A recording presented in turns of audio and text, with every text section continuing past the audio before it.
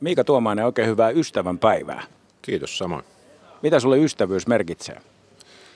No kyllä se merkitsee, merkitsee totta kai paljon. Se on hyvä, että on ystäviä. Ne on varmaan jokaisella tärkeitä. Minkälainen on tämä ystävänpäivä ollut TPSn pukukopissa? Aa, no aika semmoinen normaali. Ei, ei, ei ehkä pelipäivästä mitenkään poikkeava, että kaikki ollaan ystäviä ja hyvä on fiilis ollut kopissa koko päivän.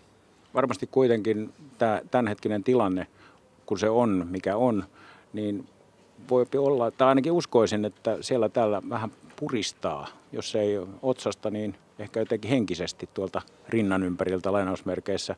Oletko tuntenut tämmöisiä tuntemuksia? No voi olla tietysti jonkinnäköistä semmoista, että vähän pakonomasta.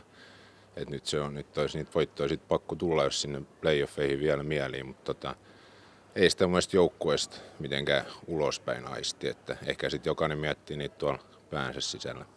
Niin paljon on ollut tiukkoja kamppailuja tässä nyt vuodenvaihteen jälkeen, maalin tappioita. Ne on varmasti juuri niitä, jotka syö eniten joukkuetta ja miestä. Kyllä näin on. Yleensä on peleihin se yksi semmoinen lapsusvirhe sattunut, että tota, ja jos sitten saatu itse tehty tarpeeksi maaleja, että kyllä kolme, neljä maalia kun tekee pelissä, niin kyllä niillä pitäisi jo sitten peli ruveta voittaa, että sen verran paremmin täytyy puolustaa. TPS on nyt loppusora auki, kymmenen ottelua jäljellä.